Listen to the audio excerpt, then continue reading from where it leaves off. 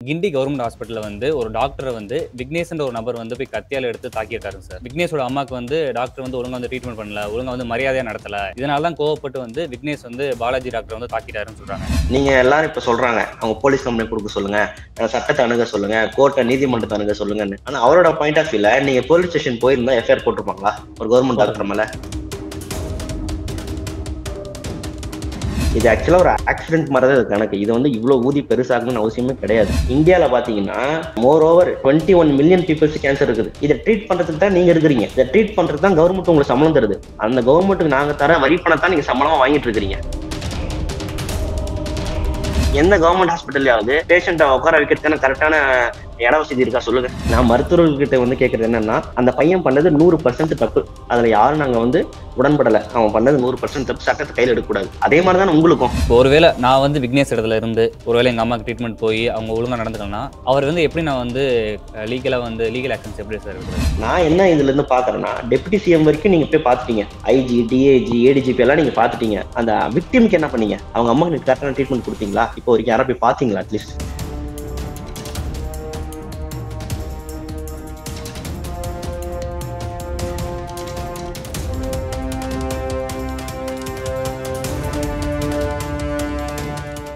Yellow bench வியூவர்ஸுக்கு வணக்கம். இன்னைக்கு நம்ம பார்க்க போற கெஸ்ட் யாருன்னு பார்த்தீங்கன்னா அட்வொகேட் சுயப் சார் தான். சார் வணக்கம் சார் வணக்கம்.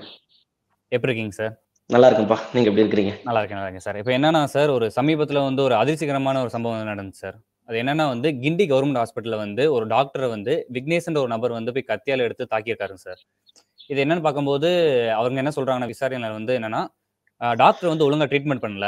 விக்னேஷோட அம்மாக்கு வந்து டாக்டர் வந்து ஒழுங்கா வந்து ட்ரீட்மெண்ட் பண்ணல. ஒழுங்கா வந்து மரியாதையா நடத்தல. இதனால தான் கோவப்பட்டு வந்து விக்னேஷ் வந்து பாலாஜி டாக்டர் வந்து தாக்கிட்டாருன்னு சொல்றாங்க. ஆக்சுவலாக வந்து அங்கே அங்கே வந்து என்னதான் சார் நடந்துச்சு? ஆக்சுவலா பாத்தீங்கன்னா இந்த விக்னேஷ்ன்றவர் வந்து அவங்க அப்பா இப்பதான் ரீசெண்டா இறந்திருக்காரு. ஸோ அவங்க அம்மாவுக்கும் வந்து கேன்சர் எஃபெக்ட் ஆயிருக்கு போல இருக்கு.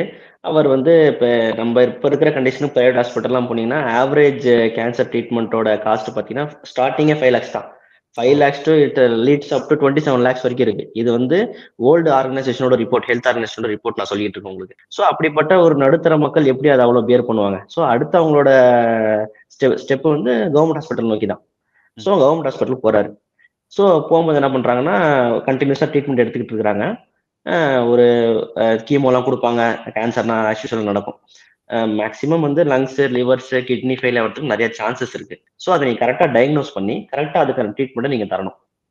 அந்த ட்ரீட்மெண்ட் தரத்துக்கு முன்னாடியே கன்சர்ன் டாக்டரை வந்து அந்த பேஷண்ட்டுக்கு வந்து நீங்கள் சொல்லணும். இந்த மாதிரி ட்ரீட்மெண்ட் நம்ம பண்ண போகிறோம் இந்த மாதிரி மெடிசின்ஸ்லாம் உங்களுக்கு கொடுத்துருக்குறோம். இந்த மாதிரி எஃபெக்ட்ஸ்லாம் உங்களுக்கு அது காட்டும். ஸோ இதெல்லாம் நீங்கள் பேர் பண்ணணும்னு சொல்லணும். ஸோ அந்த மாதிரி எந்த டாக்டர்ஸுமே இப்போ சொல்றது இல்லை ஸோ அதான் ஃபர்ஸ்ட் ஆஃப் ஆல் ஃபர்ஸ்ட் பிரச்சனை. என்ன பண்ணியிருக்காருன்னா கொண்டு போய் அட்மிட் பண்ணியிருக்காரு ரெண்டு மூணு ட்ரீட்மெண்ட் போயிருக்கு. அதுக்கப்புறம் அந்த ட்ரீட்மெண்ட்ஸோட ரெக்கார்ட்லாம் எடுத்துக்கிட்டு வேற ஹாஸ்பிட்டல் போய் பார்த்துருக்காரு. தெரிஞ்சவங்க மூலியமா யாராவது பார்த்துருப்பாரு போல இருக்கு. ஸோ அப்போ வந்து என்ன ஆகுதுன்னா இது வந்து கொஞ்சம் மாத்தி கொடுத்துருக்காரு. ட்ரீட்மெண்ட்ஸ் எல்லாம் கொஞ்சம் மாறி இருக்கே அப்படின்னு சொல்லி அந்த டாக்டர் சொல்லியிருக்காரு பிரைவேட்ல ஸோ இப்போ நாம் நம்மளா இருந்து நம்ம என்ன பண்ணிருப்போம்? நம்மளோட அம்மாவுக்கு அப்படியே கோவப்பட்டிருப்போம். நம்ம கொஞ்சம் பக்குவப்பட்டு அதை திட்டிருப்போம் அவரை கம்ப்ளைண்ட் பண்ணிருப்போம் higher authority higher authority complaint பண்ணிருப்போம் அந்த மாதிரி பண்ணிருப்போம் அவரோட ஒரு மிடில் கிளாஸ் மேன் அவரு அவரோட பாயிண்ட் ஆஃப் வியூ நீங்க பாருங்களேன். நீங்க எல்லாரும் இப்ப சொல்றாங்க அவங்க போலீஸ் கம்ப்ளைண்ட் கொடுக்க சொல்லுங்க சட்டத்தை அணுக சொல்லுங்க கோர்ட்டை நீதிமன்றத்தை அணுக சொல்லுங்கன்னு. ஆனா அவரோட பாயிண்ட் ஆஃப் வியூல நீங்க போலீஸ் ஸ்டேஷன் போயிருந்தா எஃப்ஐஆர் போட்டிருப்பாங்களா? ஒரு கவர்மெண்ட் டாக்டர் மேல. ஹண்ட்ரட் பர்சன்ட் கிடையாது. கம்மி.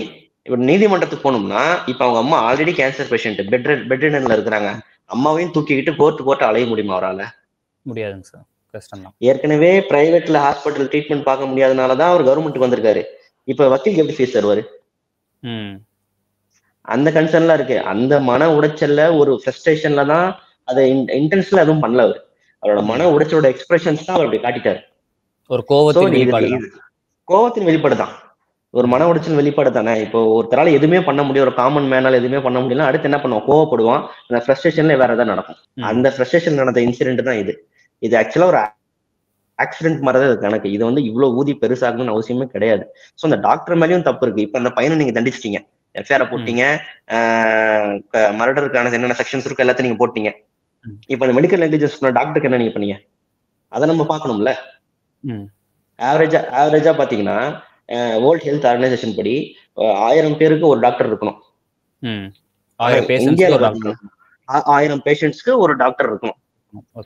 இன்னும் பர்டிகுலரா உங்களுக்கு நான் சொல்லணும்னா தமிழ்நாட்டுல எத்தனை பர்சன்டேஜ் இருக்காங்கன்னா ஆயிரம் பேருக்கு நாலு டாக்டர் இருக்கிறான். ஓ எண்ணிக்கை அதிகமா தான் இருக்கு.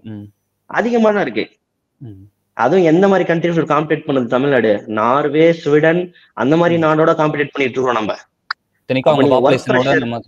ஆஹ் நம்ம பாப்புலேஷன் அதிகம். இப்ப நம்ம சொன்னோம்ல டூ ஆயிரம் பேருக்கு நாலு டாக்டர்னு அதே மாதிரி நார்வேல இருக்கு. அப்புறம் சூப்பர் ஸ்பெஷாலிட்டின்னு சொல்றோம்ல. அப்ப நம்ம அந்த ஈக்குவல் அடைஞ்சிட்டோம். அப்ப டாக்டர்ஸ் தான் அந்த ஃபுல் ரெஸ்பான்சிபிலிட்டி எடுத்துக்கணும்னு நான் சொல்றேன். இப்ப பேஷண்ட் வராங்கன்னா அவங்க ஒரு அன்எஜுகேட்டடா இருப்பாங்க. அவங்களுக்கு அந்த விஷயம் தெரியாது. அந்த கேன்சரோட எஃபெக்ட்ஸ் என்னன்னு தெரியும் அவன் என்ன கேன்சரை பார்த்துட்டே வரான். அவன் திடீர்னு அவங்க வீட்டுல நடக்குது. அந்த கேன்சர் அப்பதான் பாக்குறான் அவன். அப்ப நீங்க அதை தெளிவா எக்ஸ்பிளைன் பண்ணணும் அவனுக்கு. இதுல ஒர்க் ப்ரெஷர்னு சொல்றதுக்குலாம் எதுவுமே கிடையாது. அந்த டாக்டர் மேல ஆல்ரெடி ஏகப்பட்ட அலிகேஷன்ஸ் இருக்குது. இவர் என்ன பண்ணியிருக்காருன்னா இந்த பையன் வந்து என்கொயரி பண்ணும்போது போலீஸ் போலீஸ் ஆஃபீஸருக்கு என்ன சொல்லியிருக்கான்னா பதினெட்டு ஆடியோ கொடுத்துருக்கான் இந்த மாதிரி எங்களை திட்டி பேசினாரு. இந்த மாதிரி எங்களை தரைக்குறவா நடத்தினாரு. ஃபைல தூக்கி மூஞ்சில் அடிச்சாரு. ஸோ இந்த மாதிரிலாம் பண்ணும்போது ஒரு நடுத்தர மக்கள் என்ன பண்ணுவாங்க? ஒண்ணுமே பண்ண முடியாதுல்ல. நீங்க நினைச்சிட்டு இருக்கிறீங்க கேன்சர்ன்றது ஒரு சின்ன ஃபேக்டர்னு சொல்லிட்டு. இந்தியால பாத்தீங்கன்னா more over twenty one million peoples cancer இருக்குது இதை ட்ரீட் பண்றதுக்கு தான் நீங்க இருக்கிறீங்க. இதை ட்ரீட் பண்றதுக்கு தான் கவர்மெண்ட் உங்களுக்கு சம்பளம் தருது. அந்த கவர்மெண்ட்டுக்கு நாங்க தர வரி பணத்தான் நீங்க சம்பளமா வாங்கிட்டு இருக்கிறீங்க. அப்படி இருக்கும்போது அந்த டாக்டர்ஸ் வந்து கொஞ்சம் கனிவா நடந்துக்கணும்ல. எந்த கவர்மெண்ட் ஹாஸ்பிட்டல்லையாவது பேஷண்ட்டை உட்கார வைக்கிறதுக்கான கரெக்டான இட வசதி இருக்கா சொல்லுங்க. ஆமா இல்ல சார் பெட்ஸ் கிடைக்காது. லைன்ல பெட்ஸ் கிடைக்காது. ஆஹ் பேஷண்ட் கூட வந்தவங்களுக்கு உட்காரத்துக்கு இடம் இல்ல. எத்தனை சிசேரியன் சி செக்ஷன் டெலிவரிஸ் வந்து ஒரே நேரத்துல பதினஞ்சு நடக்குது ஹாஸ்பிட்டல்ல நான் பார்த்துருக்கிறேன். பக்கத்து பக்கத்து பெட்ல அப்படியே நடக்கும். அப்பெல்லாம் இன்ஃபெக்ஷன் ஆகுறது இல்லையா? சோ ஏன் மக்கள் பிரைவேட் ஹாஸ்பிட்டல் நோக்கி போறாங்கன்னா இதுதான் காரணம். நான் மருத்துவர்கிட்ட வந்து கேட்கறது என்னன்னா அந்த பையன் பண்ணது நூறு பர்சன்ட் தப்பு. அதுல யாரும் நாங்க வந்து உடன்படல. அவன் பண்ணது நூறு பர்சன்ட் தப்பு. சட்டத்தை கையில எடுக்கக்கூடாது. அதே மாதிரிதான் உங்களுக்கும். நீங்களும் வந்து அந்த உங்களோட மெடிக்கல் கோட் ஆஃப் கான்டாக்ட் படி நீங்க நடந்திருக்கணும்ல. அட கடமை விடுங்க. அவங்க மெடிக்கல் கோட் ஆஃப் கான்டாக்டே இருக்குதுங்க. ரூல்ஸ் அண்ட் ரெகுலேஷன் ஆக்டே இருக்குங்க அதப்படியாவது நடக்கணும்ல. ரூல் ஒன் பாயிண்ட் ஃபோர் என்ன சொல்லுதுங்க மெடிக்கல் கான்டாக்ட்ல நீங்க வந்து பேஷண்ட் கிட்ட கனிவா நடக்கணும். நீங்க என்னென்ன ரெக்கார்டு கொடுக்குறீங்க என்னென்ன மெடிசன்ஸ் கொடுக்குறீங்கன்னு சொல்லணும் ரூலே இருக்குது. நீங்க அதை உறுதிமொழி எடுத்துக்கிட்டு தான் டாக்டரா உள்ள வரீங்க. அது கவர்மெண்ட் டாக்டரா வரீங்க. இப்ப இந்த சீனியர் ஆன்காலஜிஸ்ட் டாக்டர் பாலாஜிக்கு ரெண்டு லட்ச ரூபா இருக்கும் சம்பளம். நம்ம வரி பணத்துல சம்பளம் வாங்கிட்டு நமக்கு கனிவா நடக்கலன்னா அப்படிப்பட்ட டாக்டர் எதுக்குன்னு நான். இப்ப அவனுக்கு நீங்க தண்டனை வாங்கி கொடுத்துட்டீங்க. இப்ப இவருக்கு என்ன பண்ணீங்க? தண்டனை வாங்கி தர போறீங்க நீங்க. சார் என்னோட நெக்ஸ்ட் கொஸ்டின் அதான் சார் இப்போ ஒருவேளை நான் வந்து விக்னேஷ் இடத்துல இருந்து ஒருவேளை எங்க அம்மாக்கு ட்ரீட்மெண்ட் போய் அவங்க ஒழுங்கா நடந்துக்கலன்னா அவர் வந்து எப்படி நான் வந்து லீகலா வந்து லீகல் ஆக்ஷன்ஸ் எப்படி சார் எடுக்கிறது? நீங்க அதுக்கான ஹையர் அத்தாரிட்டிக்கு டைரக்டா கம்ப்ளைண்ட் பண்ணுங்க. இது- கேட்டதுனால இந்த உங்களுக்கு ஒரு பதில் சொல்றேன். சுவாரஸ்யமா ஒரு பதில் சொல்றேன். நம்ம நேஷனல் மெடிக்கல் கவுன்சில்ல இந்த இந்த வருஷம் மொத்தம் பதிவான வழக்கு ஒன்பதாயிரம் வழக்கு. டாக்டர்ஸ் மேல. இதை பத்தி ஏன் யாரும் பேச மாட்டீங்க? டாக்டர்ஸ் கொண்டா நீங்க இறங்கி ஸ்ட்ரைக் பண்ணீங்க ரைட். ஒத்துக்கிறோம். அது நியாயமான கோரிக்கை. நாங்க ஏத்துக்கிறோம். அவன் மேல தப்பு இருக்கு. அவனை தூக்கி உள்ள வச்சாச்சு. நீங்க ஒரு நாள் ஸ்ட்ரைக் பண்ணீங்களே அப்ப ஒரு உயிர் போயிருந்தா கூட யார் பொறுப்பு? ம். அவங்க தான் பொறுப்பு. இப்போ ஒன்பதாயிரம் வழக்கு பதிவு பண்ணியிருக்கிறாங்க டாக்டர்ஸ் மேல. எல்லா வேரியஸ் ஹை கோர்ட்ஸ்ல வேரியஸ் டிஸ்ட்ரிக்ட் கோர்ட்ஸ்ல பதிவு பண்ணியிருக்கிறாங்க. இது வந்து நேஷனல் மெடிக்கல் கவுன்சில் சொன்ன ரிப்போர்ட் அதெல்லாம். வந்து நார்மலா ஒரு மெடிக்கல் எரர்ஸ் மெடிக்கல் எரர்ஸ் மேல தான் வந்து டெக்னிக்கலா வர்றது தான் இதை வந்து ரொம்ப ரொம்ப. பேசாதீங்கன்னு சொல்லிட்டு டாக்டர் சைட்ல இருந்து நிறைய பேர் சொல்லி நான் கேள்விப்பட்டிருக்கேன் சார். ஒரு மெடிக்கல் ஆயிரம் ஒரு ஆயிரம் ஆயிரம் ஒரு- பண்ணாங்கன்னா அப்போ டோட்டல் பாப்புலேஷன் காலி பண்ணிடுவீங்களே? இப்போ எத்தனை சீட் இருக்கு தெரியுமா மொத்தம் இந்தியால? நைன்டி செவன் தௌசண்ட் சீட்ஸ் இருக்கு டாக்டர்ஸ்க்கு ஒரு ஒரு- வருஷத்துக்கு எம்பிபிஎஸ்க்கு அப்போ ஒருத்தருக்கு ஆயிரம் பேர் கணக்கு போடுங்க நீங்க. லட்சக்கணக்கு போடுங்க. ஆ அப்ப அத்தனை பேர் கொண்டுடுவீங்களா? ஸோ டாக்டர்ஸ்க்கு ரெஸ்பான்சிபிலிட்டி இருக்கு. யாரும் வானில இருந்து குஞ்சு குச்சி குதிச்சிடல. எல்லாருக்கும் அந்த சோஷியல் ரெஸ்பான்சிபிலிட்டி இருக்கு. எல்லா டிபார்ட்மெண்ட்டும் இருக்கு. முக்கியமா டாக்டர்ஸ்க்கு இருக்கு. நீங்க தானே உயிரை காப்பாத்துற இடத்துல இருக்கிறீங்க. நீங்க அதை நீங்க பர்ஃபெக்டா ஃபாலோ பண்ணிருந்தீங்கன்னா அந்த பையனை கரெக்டா ஹேண்டில் பண்ணிருந்தீங்கன்னா அந்த பையன் ஜெயில இருந்திருக்க மாட்டான். அவன் உங்க அவங்க அம்மாவை பார்த்துட்டு பக்கத்துல இருந்திருப்பான். அவன் கடைசியா கூட போலீஸ்க்கு என்ன சொல்லியிருக்கான்? என்ன என்ன வேணாலும் செஞ்சுக்க நான் பண்ணது தப்பு தான் ஆனா எங்க அம்மாவுக்கு ப்ராப்பரான ட்ரீட்மெண்ட் கொடுங்கன்றான். நான் என்ன இதுல இருந்து பாக்குறேன்னா டெபுட்டி சிஎம் வரைக்கும் நீங்க போய் பாத்துட்டீங்க ஐஜி டிஏஜி ஏடிஜிபி எல்லாம் நீங்க பாத்துட்டீங்க அந்த விக்டிமுக்கு என்ன பண்ணீங்க? அவங்க அம்மாக்கு கரெக்டான ட்ரீட்மெண்ட் கொடுத்தீங்களா? இப்போ வரைக்கும் யாரா போய் பாத்தீங்களா அட்லீஸ்ட் இப்ப சட்டம் எல்லாருக்கும் சமங்க. பாலாஜிக்கு டாக்டர் பாலாஜிக்கு என்ன நீங்க ட்ரீட்மெண்ட் கொடுத்தீங்களோ என்ன முதலுதவி செஞ்சீங்களோ அதே தானே அங்கேயும் செஞ்சிருக்கணும். நீங்க அதையும் செய்ய மாட்டேங்கிறீங்க. தொண்ணூத்தி ஏழாயிரம் மாணவர்கள் வராங்க ஒரு வருஷம் மெடிக்கல் காலேஜ்ல இருந்து டோட்டல் ஆல் ஓவர் இந்தியால அதுல தமிழ்நாட்டுல தாங்க அதிகம். அது இல்லாம பன்னெண்டு மணி நேரம் டியூட்டி பாக்குறோன்றது கட்டாயம். ஆக்ட்ல இருக்கு. எந்த டாக்டர் நீங்க நேரம் டியூட்டி பாக்குறாங்கன்னு நீங்க நினைக்கிறீங்க? பிரைவேட் ஹாஸ்பிட்டல்லையோ பிரைவேட் கன்சர்ன்ஸ்லயோ பிரைவேட் கிளினிக்லயோ வேலை செய்யக்கூடாது கவர்மெண்ட் டாக்டர் வேலை செய்யறாங்களா இல்லையா? இல்ல சார் அதாவது அப்படின்னா கவர்மெண்ட் ஹாஸ்பிட்டல்ல வேலை பார்க்குறவங்க எல்லாருமே வெளியே வந்து கிளினிக் தனியா வச்சிருக்காங்க. ஆனா அவங்க பேர்ல இருக்காது. வேற ஒருத்தர் பேர் ரிஜிஸ்டர் ஆயிருக்கும். அவங்க அங்க வேலை செய்வாங்க. ஏன்னா அவங்க பேர்ல வந்துடக்கூடாதுன்னு எத்தனை மெடிக்கல் மாஃபியா இருக்கு நான் சொல்லட்டுமா? இப்ப இவ்வளவு இந்த இந்த கேஸ் நடந்துட்டு இருக்கும் போதே முந்தா நேத்து ஒரு அட்வொகேட்டை அரெஸ்ட் பண்ணியிருக்கிறாங்க எஃப்ஐஆர் போட்டிருக்கிறாங்க. இப்ப ஒரு டாக்டர் மேல கம்ப்ளைண்ட் பண்ணதுக்காக பாலியல் வழக்குல. மதுரையில. சின்ன பசங்களை அண்டர் ஏஜ் பசங்க எல்லாம் கூட்டிட்டு போய் இது டிரான்ஸ்ஜெண்டர்ஸ் ஆபரேஷன் பண்ணிடுறது. பண்ணிட்டு காலையில அவங்களுக்கு பிச்சை எடுக்க விடுறது நைட் அவங்கள பாலியல் தொழில அனுமதிக்கிறது சம்பாரிச்சு கொடுன்னு சொல்லி. இது ஒரு டாக்டர் தானே பண்ணா? இப்ப இதெல்லாம் எந்த டாக்டர் பேசுவாங்க? எவ்வளவு மெடிக்கல் நெக்லிஜென்ஸ் கேசஸ் இருக்கு? ஏங்க வயித்துல சிசர் வச்சு தச்ச கேஸ்லாம் நீங்க பாத்துருக்கீங்களா இல்லையாங்க? நான் டார்ச் லைட்டை வச்சு அப்ப அந்த டாக்டருக்கும் யாரும் நீங்க ப்ரொடெஸ்ட் பண்ணல அவனை தூக்கி நீங்க வெளியே அனுப்பல. இப்ப இவருக்கு முன்னாடி நீங்க ப்ரொடெஸ்ட் பண்ணீங்கன்னா உங்களுக்குன்னு வந்தா நீங்க ப்ரொடெஸ்ட் பண்ணுவீங்க. அவன் காமன் பீப்புள் அவன். மிடில் கிளாஸ் பீப்புள் அவன். அவனுக்கு யார் ப்ரொடெஸ்ட் பண்ணுவாங்க? அவனுக்கு யார் சப்போர்ட் பண்ணுவாங்க? நீங்களும் நானும் தான் பண்ணணும். இப்ப இவ்வளவு துடிக்கிறாங்க. முந்தானத்து ஒரு அட்வொகேட்டை கன்னியாகுமரியில வச்சு கொலை பண்ணாங்க. தெரியும் உங்களுக்கு எல்லாருக்கும் நியூஸ் வந்தது. எத்தனை பேர் இது சீரியஸா எடுத்துக்கிட்டு எத்தனை பேர் ப்ரொடெஸ்ட் பண்ணீங்க? எத்தனை பேர் பேசுனீங்க? நீங்க சப்போர்ட் பண்ணுங்க நான் வேணாம்னு சொல்ல. அது கரெக்டா இருக்கும் பட்சத்துல பண்ணுங்க. இப்ப அவன் மேல ஆக்ஷன் எடுத்துட்டீங்க. இவர் மேல ஆக்ஷன் எடுங்க. நீங்க சம்பாதிங்க நான் வேணாம்னு சொல்லல. நீங்க கஷ்டப்பட்டு படிச்சிருக்கீங்க எக்ஸாம் எழுதி வந்திருக்கீங்க படிங்க. சம்பாதிங்க. ஆனா கவர்மெண்ட்னு வந்துட்ட அப்புறம் கவர்மெண்ட் தான் நீங்க சேவை செய்யணும். சம்பாரிச்சுட்டு போங்க ரூலை மீறி தான் பண்றீங்க எல்லாருக்குமே தெரியும்.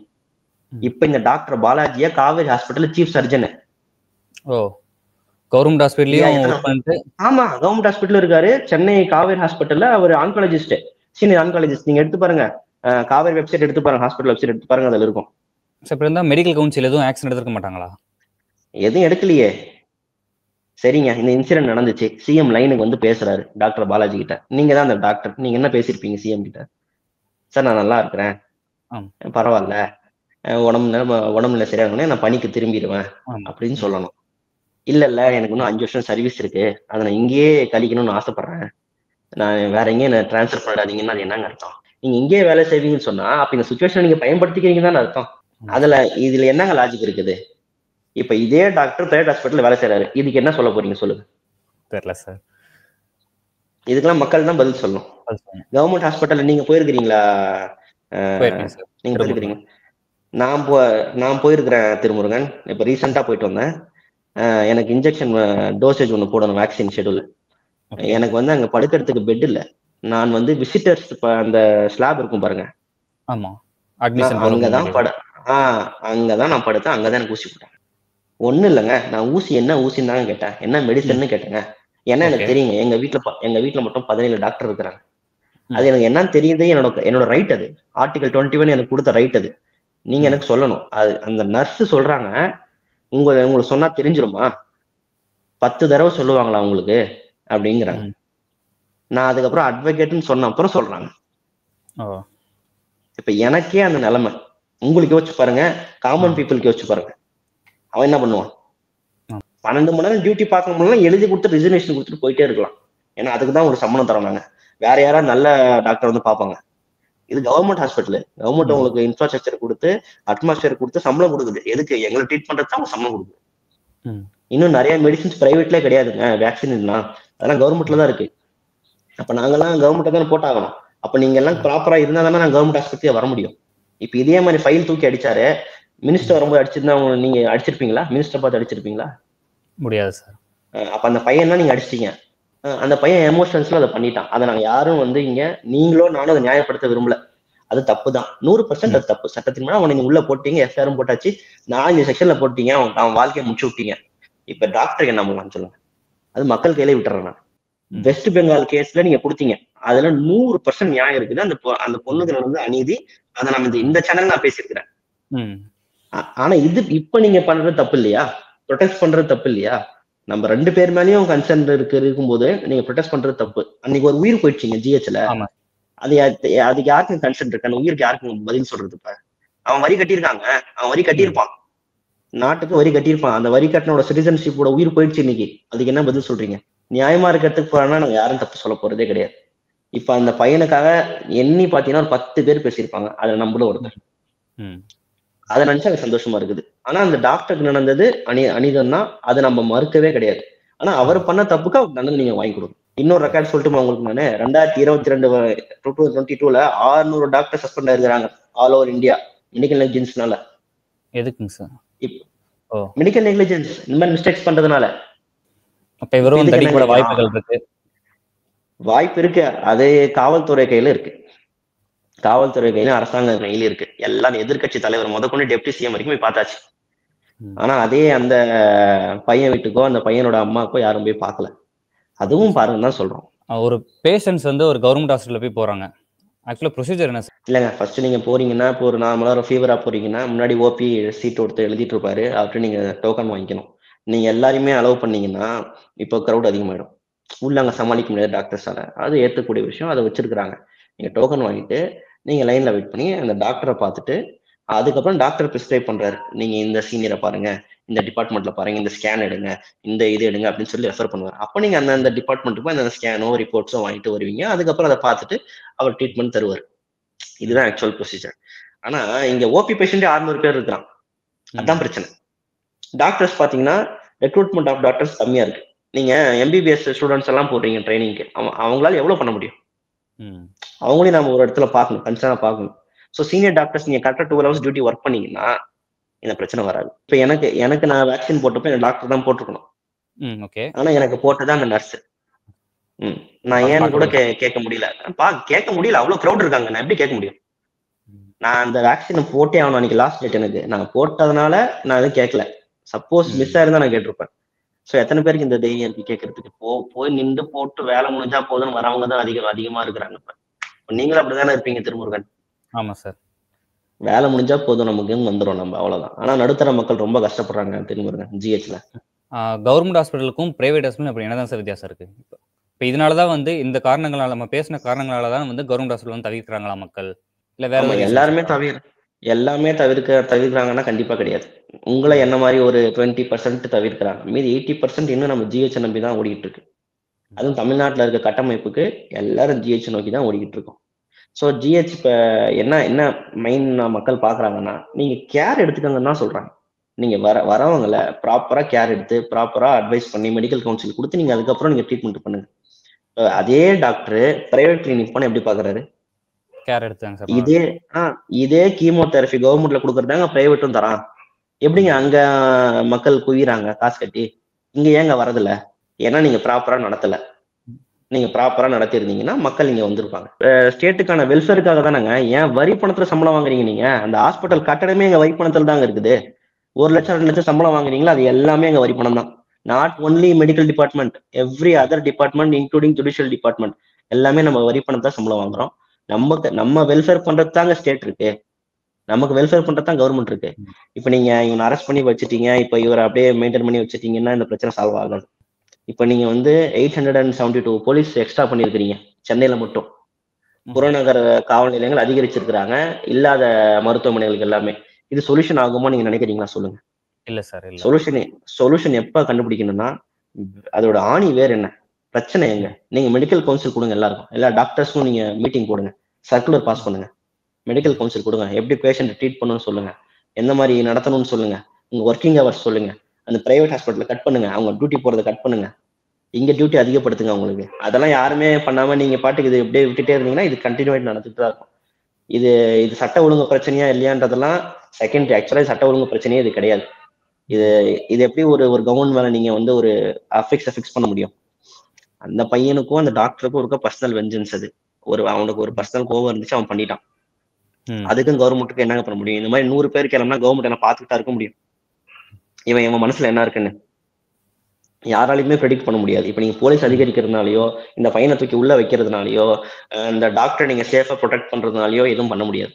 ஆல்ரெடி இவங்களுக்கு மோர் தென் சஃபிஷியண்டா லா ப்ரொவைட் பண்ணிடுச்சு டாக்டர்ஸ்க்கு எல்லாமே. சேஃபா இருக்கிறதுக்கு. பழைய ஐபிசிலையும் சரி புதிய பிஎன்எஸ்லயும் சரி கான்ஸ்டியூஷன் ரைட் அவங்களுக்கு இருக்கு. கவர்மெண்ட் சர்வ் மேல உங்களால கை வைக்க முடியாது. அது போலீஸா இருந்தாலும் சரி டாக்டரா இருந்தாலும் சரி ஐஏஎஸ்ஆ இருந்தாலும் சரி. எல்லாருக்கும் கவர்மெண்ட் நார்ம்ஸ்னா ஒரே ஒரே ரூல் தான். ஸோ அது உங்களுக்கு இருக்கும்போது நீங்க எதுக்கு எக்ஸ்ட்ரா ப்ரொடெக்ஷன் எனக்கு புரியாது நீங்க பேசிக்கா என்ன பிரச்சனையோ அதை கல கலாய்வு பண்ணி அதை அதை நம்ம களை எடுக்கணும். அதை விட்டுட்டு நீங்க இந்த மாதிரிலாம் பண்ணீங்கன்னா அது இன்னும் போர்ட்ரேட் அதிகமாக தான் போயிட்டு இருக்கும். மெடிக்கல் கோட் ஆஃப் கண்டக்ட்னு சொல்றீங்க சார். அப்படின்னா என்ன சார்? மெடிக்கலுக்கு நல்ல கேள்விங்க. திருமுருகன். மெடிக்கல் கோட் ஆஃப் கான்டாக்ட்னா இப்போ நீங்கள் எம்பிபிஎஸ் படிக்கிறீங்க ஜாயின் பண்ணிடுறீங்க. ஜாயின் பண்ண அப்புறம் நீங்கள் ஃபைனல் இயர் வருவீங்க ஹவுஸ் சர்ஜன் பண்ணுவீங்க ஒன் இயர் ட்ரைனிங் இருக்கும். அந்த ஹவுஸ் சர்ஜன்லேயே நீங்க எப்படிலாம் பேஷண்ட் ட்ரீட் பண்ணணும் எந்த மாதிரி பேஷண்ட்லாம் வருவாங்கன்றதுக்கு தான் உங்களுக்கு ஒன் இயர் ட்ரைனிங் தரோம். ரூரல் ஏரியாஸ்லும் சரி அர்பன் ஏரியாஸ்லும் மாத்தி மாத்தி டியூட்டி போடுவாங்க. நீங்க எல்லாமே பண்ணணும். சீனியர்ஸ் இருப்பாங்க நீங்க கேட்டு தெரிஞ்சுட்டு பண்ணுவீங்க. அதுக்கப்புறம் மெடிக்கல் கவுன்சில் நீங்க பதிவு பண்ணணும். நீங்க ஒரு doctor டாக்டர். ஆகணும்னா ஆமா மெடிக்கல் கவுன்சில பதிவு பண்ணணும். அங்க உங்களுக்கு ஒரு ஐடென்டி நம்பர் தருவாங்க. அந்த ஐடென்டி நம்பர் எல்லா டாக்டர்ஸோட பிரிஸ்கிரிப்ஷன்லயும் இருக்கணும். அந்த மாதிரி நீங்க எங்கேயாவது பார்த்துருக்கீங்களா இல்ல சார் எனக்கு தெரிஞ்சு நானும் பார்த்தது இல்ல நான் செக் பண்ணதுக்கு இல்ல. மாத்திரை கொடுத்துருக்காங்களா? எத்தனை மாத்திரை இருக்கும்? எவ்வளவு. டோட்டல் ஆச்சு? அவ்வளவுதான் பார்ப்போமே அந்த மெடிக்கல் கவுன்சிலோட ரிஜிஸ்டர்ட் நம்பர் அதுல இருக்கணும். அவங்க வந்து ப்ரிஃபர்டு ட்ரக்ஸ் தான் தரணும். அதுக்கு ஒரு ஆக்ட் இருக்கு. அந்த ஆக்ட் எப்படி ப்ரிஃபர்டு ட்ரக்ஸ் தான் தரணும். ஸோ அவங்களுக்கும் ஒரு rule of code of conduct இருக்குது. எப்படி நடத்தணும் பேஷண்ட்டை ரெக்கார்ட்ஸ் வந்து மூணு வருஷம் மெயின்டைன் பண்ணணும். ஒரு ஒரு பிரைவேட் கிளினிக்லயும் அவங்களுக்கு க்ளீனாக எக்ஸ்பிளைன் பண்ணணும். அந்த ரெக்கார்டு யார் வந்து கேட்டாலும் நம்ம எடுத்து கொடுக்கணும். சீனியர் ஆஃபீஷியல்ஸ் யாராவது வந்தாலோ இல்லை வேற ஏதாவது கேஸ் சம்மந்தப்பட்டு வேற ஏதாவது வந்தாலோ அது நம்ம எடுத்து கொடுக்கணும். ஸோ இந்த மாதிரிலாம் கோட் ஆஃப் கண்டக்ட் இருக்கு. எல்லா டிபார்ட்மெண்ட்டும் இருக்கு. எங்களுக்கும் இருக்கு. அட்வொகேட்ஸ் ஆக்ட் படி எங்களுக்கும் கோட் ஆஃப் கண்டக்ட் இருக்கு. நாங்களும் அந்த மோரல் எத்திக்ஸ் நாங்கள் மீறக்கூடாது. எல்லாம் பிளட்ஜ் எடுத்துட்டு தான் நம்ம அந்த கவுன்சிலில் ரெஜிஸ்டர் பண்ணுறோம் உறுதிமொழி எடுத்துட்டு தான் நம்ம பண்றோம். அப்ப அந்த உறுதிமொழிக்கு ஏற்ற மாதிரி நம்ம நடக்கணும்ல? அது மாதிரி யாருமே இல்லையே டாக்டர்ஸ்ல மோ more most of the doctors யாரும் இல்லை. இருக்கிறாங்க. நேர்மையா இருக்கிறவங்க இருக்கிறாங்க. மக்களுக்கு சேவை செய்யணுன்ற பணியில செய்யறவங்க இருக்கிறாங்க. கம்மி காஸ்ட் காஸ்ட்ல பிரைவேட் கிளினிக் வச்சு நடத்துறவங்க எல்லாம் எத்தனையோ பேர் இருக்கிறாங்க. அந்த மாதிரி இருக்கிறாங்க. சார் இப்போ என்னன்னா இப்போ வந்து தமிழ்நாட்டில் வந்து நிறைய ஜிஹெச் இருக்கு. சிட்டிக்குன்னு ஒரு பெரிய ஜிஹெச் இருக்கும். அடுத்து ரூரல் ஏரியாஸ்ல வந்து நிறைய ஜிஹெச் இருக்கும். ஒரு பிரைமரி ஹெல்த் சென்டர்லாம் இருக்கும். இப்போ அதோட கண்டிஷன்ஸ்லாம் என்ன? எப்படி சார் இருக்கு? இப்போ சென்னைனா ஓகே ஒரு பெரிய சிட்டினால ஒரு நல்லா வச்சிருப்பாங்க. ஓரளவுக்கு தெரியாம வச்சிருப்பாங்க. ரூரல் ஏரியாஸ்லாம் போயிடுச்சுன்னா எப்படி சார் இருக்கு? கண்டிஷன்ஸ் இப்போ நாங்க இருக்கிறதுலாம் வந்து அர்பன் அண்ட் ரூரல் ஏரியா தான். இப்போ எங்க எங்க டிஸ்ட்ரிக்ட்ல பாத்தீங்கன்னா மெடிக்கல் காலேஜ் இருக்கு வித் கவர்மெண்ட் ஹாஸ்பிட்டல் இருக்கு. அங்க வந்து பாத்தீங்கன்னா சூப்பர் ஸ்பெஷாலிட்டி ட்ரீட்மெண்ட்லாம் இருக்கு. ம். ஆனா எத்தனை பேரால அதை அஃபோர்ட் பண்ண முடியுன்றது தான் பிரச்சனை. இப்ப எங்க டிஸ்ட்ரிக்ட் சுத்தி பாத்தீங்கன்னா ஃபிஃப்டி சிக்ஸ்டி கிலோமீட்டர்ஸ் வரைக்கும் வில்லேஜஸ் இருக்கு. அங்க இருந்து நாங்க ஐம்பது கிலோமீட்டர் டிராவல் பண்ணி வரணும். அதை பிரேக் பண்றதுக்கு தான் பிரைமரி ஹெல்த் சென்டர்ஸ்லாம் கொண்டு வந்தாங்க. அங்கதான் இங்க பிரச்சனை நடக்குது. ஓபி பேஷண்ட் அறுநூறு ஐநூறு பேர் வரும்போது அத்தனை பேரும் அவங்களால கன்சல்ட் பண்ணி பார்க்க முடியறதில்ல. அப்ப அந்த டைம் என்ன பண்ணுன்னா உங்க எக்ஸ்ட்ரா டாக்டர்ஸ் கொடுங்க. இல்ல டியூட்டி டாக்டர்ஸ் அதிகமா பண்ணுங்க. டைமிங் பிரிச்சு கொடுங்க. அந்த மாதிரி தான் பண்ணணும். இப்ப அந்த மாதிரி பண்ணினா க்ரௌட் உங்களுக்கு குறையும். மக்களோட பிரச்சனை சீக்கிரமா தீரும். ஸோ டாக்டர்ஸே அங்க வருது ரெண்டு மணி நேரம் மூணு மணி நேரம். இன்னும் சில ஹாஸ்பிட்டல்ஸ் எல்லாம் பாத்தீங்கன்னா போஸ்ட்மார்ட்டம் பண்ணணும். அது ரூல் பிரைமரி ஹெல்த் சென்டர்லாம் போஸ்ட்மார்ட்டம் நீங்க பண்ணணும். இப்போ டெத் டெத் ஆயிடுச்சுன்னா போலீஸ் கேஸ் இருக்குன்னா அதை நீங்க போஸ்ட்மார்ட்டம் பண்ணி தான் கொடுக்கணும். இப்ப நாங்க போஸ்ட்மார்ட்டம் பண்ணோம்னா இங்க இருந்து நாங்க மெடிக்கல் காலேஜுக்கு எடுத்துட்டு போய் பண்ண வேண்டியதா இருக்கு. இது எங்க டிஸ்ட்ரிக்ட்ல மட்டும் இல்ல மோர் மோர் எல்லா டிஸ்ட்ரிக்ட்லயும் இருக்கு. So maximum most of the primary health சென்டர்ல நடக்குதுன்னா அட்டாப்சி பண்றதே கிடையாது. ஏன் ஏன்னு கேட்டீங்கன்னா இப்ப அந்த டாக்டர் வந்து அந்த கேஸ் அப்பியர் ஆகணும்ல கோர்ட்ல நீங்க சொல்லணும்ல. எவிடன்ஸ் கொடுக்கணும்ல விட்னஸ் கொடுக்கணும்ல. அதை அவாய்ட் பண்றதுக்காக அட்டாப்சியே பண்ணாம போயிடுறாங்க. அவங்களோட அவங்களோட ரூல் அது. அவங்களோட ஹாஸ்பிட்டல் இருக்க ரூல் அவங்க பண்ணணும். அதுவே அவங்க ஓரல் இதா வச்சுக்கிட்டு அதை மீறுறாங்க. எத்தனையோ பேர் வந்து போஸ்ட்மார்ட்டத்துக்கு அலையிறாங்க. கவர்மெண்ட் ஹாஸ்பிட்டல் போய் உட்காந்துக்கிட்டு. அதுக்கு இங்க ஒரு லெட்டர் எழுதி கொடுக்கணும். எஃப்ஐஆர் பதிவு பண்ணணும். போலீஸ் கிட்ட இருந்து நான் அப்ஜெக்ஷன் சர்டிஃபிகேட் வாங்கிட்டு போகணும். அதுக்கப்புறம் அங்க கொண்டு போய் கொடுக்கணும். அங்க கொண்டு போய் கொடுத்து அங்க இருக்கிற கிளர்க் அதுல சீல் வச்சு சைன் பண்ணி அதுக்கப்புறம் போஸ்ட்மார்ட்டத்துக்கு டேல தான் பண்ணுவாங்க. பத்து மணிக்கு ஸ்டார்ட் ஆகும். மூணு மணிக்கெல்லாம் முடிச்சிருவாங்க. ஒரு டேல எவ்வளவு போஸ்ட்மார்ட்டம் பண்ணிட முடியும் நீங்க நினைக்கிறீங்க? ஒரு அஞ்சு ஆறு பண்ணலாம் அவ்வளவுதான். ஆனா ஒரு டிஸ்ட்ரிக்ட்ல அவ்வளவுதான் நடக்குதா? எத்தனை எஃப்ஐஆர் பதிவாகுது? எத்தனை பேர் இறக்குறாங்க மோட்டர் ஆக்சிடென்ட்ல மோட்டர் ஆக்சிடென்ட்லாம் எத்தனை பேர் மர்டர் கேஸ்ல எல்லாம் இறக்குறாங்க. அதெல்லாம் எவ்வளவோ இருக்கு. அதெல்லாம் வந்து கொஞ்சம் சரி பண்ணணும். இந்த பேசிக் ஸ்ட்ரக்சரை கொஞ்சம் மாத்தணும். எல்லா டாக்டர்ஸ்க்கும் எல்லா அந்த மெடிக்கல் டிபார்ட்மெண்ட்ல இருக்கவங்க எல்லாருக்கும் கவுன்சிலிங் தரணும். ஏன்னா அவங்களுக்கும் ஒர்க் ப்ரெஷர்லாம் இருக்கு. நர்ஸுக்கெல்லாம் நர்ஸு கம்பவுண்டர்ஸ்க்குலாம் இருக்கு. அவங்களுக்குலாம் ஒரு மீட்டிங் வச்சு ஒரு சர்க்குலர் பாஸ் பண்ணி அவங்களுக்கு கோட் ஆஃப் கான்டாக்ட் திருப்பி ஒரு டைம் சொல்லி இது மாதிரிலாம் இருக்கு. நம்ம சர்வீஸ் மோட்டிவோட தான் இருக்கணும்னு சொல்லி ஒரு கிளாஸ் எடுத்து ஒரு கைட்லைன் ப்ரொவைட் பண்ணி தமிழ்நாடு கவர்மெண்ட் பண்ணா இன்னும் பெட்டர்மெண்டா இருக்கும். நம்ம ஆல்ரெடி நார்வேக்கு ஈக்குவலா இருக்கும். ம். அந்த கண்ட்ரிக்கு ஈக்குவலா நம்மளோட டாக்டர்ஸ் இருக்கிறாங்க. அதை நம்ம மேம்படுத்தினா போதும். இந்த பிரச்சனை எல்லாம் சால்வ் பண்ணிடலாம். சார் இப்போ நெக்ஸ்ட் கொஸ்டின் என்னன்னா வந்து மெடிக்கல் நெக்லிஜென்ஸை பற்றி பேசுனீங்க. இந்த மாதிரி மெடிக்கல் நெக்லிஜென்ஸ் கேஸ் வந்து எதுவும் ரொம்ப லேண்ட்மார்க் அது நடந்திருக்கா சார் எதுவும் பேசும் பொருளாக வந்து ஆயிருக்கா? நிறைய நிறைய கே ஜ ஜட்மெண்ட்ஸ் இருக்கு. சுப்ரீம் கோர்ட் வந்து நிறைய ஜட்மெண்ட்ஸ் கொடுத்துருக்காங்க. ஒரு எக்ஸாம்பிள் உங்களுக்கு ஒரு கேஸ் சொல்லணும்னா இந்திரா ராணி கேஸ்னு ஒன்று research chief medical officer supreme court வரைக்கும் போய் ஜட்மெண்ட் ஆகி காம்பன்சேஷன்ல அவார்ட் பண்ணாங்க. அந்த விஷயம் என்னன்னா அந்த கேஸ்ல வந்து ஒரு பேஷண்ட்டுக்கு வந்து கார்டியோ அரெஸ்ட் ஆயிருக்கு. ஹார்ட் அட்டாக் வந்திருக்கு. அவங்க வந்து என்ன பண்ணணும்னா இசிஜி பண்ணுவாங்க. அடுத்து அந்த த்ரோம்போலைசேஷன்ற ப்ராசஸ் கொடுத்து அந்த லெவலை நார்மல் பண்ணி அதுக்கப்புறம் டயக்னோஸ் பண்ணி ஆன்ஜியோபிளாஸ்ட் பண்றதா ஆன்ஜியோகிராம் பண்றதா ஓப்பன் ஹார்ட் பண்றதான்றது தான் நெக்ஸ்ட் ஸ்டெப்பா இருக்கும். இவங்க இசிஜி ஆக்சுவலா பண்ணிருக்கணும். இவங்க என்ன பண்ணிட்டாங்கன்னா அந்த டாக்டர்ஸ் எல்லாம் சேர்ந்து இது கேஸ்ட்ரிக் ப்ராப்ளம் நீங்க போங்க. இந்தாங்க கேஸ்ட்ரிக் மருந்து வச்சுக்கோங்க அப்படின்னு சொல்லி அனுப்பிச்சிட்டாங்க ஓ அந்த பேஷண்ட் ஒரு மாசம் கழிச்சு திருப்பி ஹார்ட் அட்டாக் வந்து அங்கேயே ஸ்பாட் இறந்துட்டாங்க. அவங்களோட ரிலேட்டிவ்ஸ் ஒருத்தர் வந்து போட்ட வழக்கு தான் இது. டிஸ்ட்ரிக்ட் ஃபார்ம்ல போடுறாங்க முதல்ல. அதுக்கப்புறம் அது அப்பீல் வரைக்கும் போய் சுப்ரீம் கோர்ட் வரைக்கும் போகுது. சுப்ரீம் கோர்ட் இதுல என்ன கன்சிடர் பண்றாங்கன்னா. Section two J consumer protection act இவங்க வந்து ஒரு. கன்சியூமர் தான் அப்படின்னு ஒரு ஸ்டாண்ட் எடுத்து நீங்க வந்து இசிஜி தான் ரெக்கமெண்ட் பண்ணிருக்கணும் மெடிக்கல் ரிப்போர்ட்ஸ் படி. நீங்க வந்து இசிஜி ரெக்கமெண்ட் பண்ணாம கேஸ்ட்ரிக் ப்ராப்ளம் சொல்லி கேஸ்ட்ரிக் மருந்து கொடுத்துருக்கீங்க அதனாலதான் அந்த இறப்புக்கு காரணம். இல்லைன்னா ஒரு மாசம் கழிச்சு இறந்துருக்கவே மாட்டாரு. நீங்க முதல்ல டயக்னோஸ் பண்ணிருப்பீங்க. ஆன்ஜியோபிளாஸ்டோ ஆன்ஜோகிராமோ ஓப்பன் ஆட்டோ பண்ணிருக்கலாம். நீங்க அதை பண்ணாதனாலதான் இந்த உயிர் போச்சு. அதனால உங்களோட கவனம் குறைவால தான் இந்த உயிர் உயிர் போயிருக்கே தவிர நேச்சரா கிடையாது. சோ நீங்க வந்து ஐம்பது லட்ச ரூபா காம்பன்சேஷன் கொடுக்க சொல்லி சுப்ரீம் கோர்ட் உத்தரவு போட்டுருச்சு. சோ இந்த மாதிரி மெடிக்கல் நெக்லிஜென்ஸ் கேஸ்லாம் இந்தியால எக்கச்சக்கமா இருக்குது. ஆஹ் இந்த வருஷம் ஆனுவல் ரிப்போர்ட் ஒன்பதாயிரம் வழக்கு பதிவாயிருக்கு. அதாவது மெடிக்கல் கவுன்சில் மேலேயும் மெடிக்கல் கவுன்சில் தொடுத்த வழக்கு எல்லாமே சேர்த்து வேரியஸ் ஹைகோர்ட்ல ஒன்பதாயிரம் வழக்கு இருக்கு. இப்போ இந்த மாதிரி மெடிக்கல் நெக்லிஜென்ஸ்லாம் எங்க போய் சொல்றது நம்ம?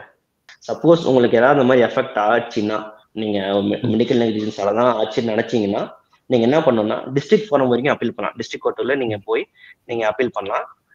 கேஸ் போடலாம். அங்க வந்து. டுவெண்ட்டி லேக்ஸ் வரைக்கும் காம்பன்சேஷன் நீங்க கிடைக்கும்.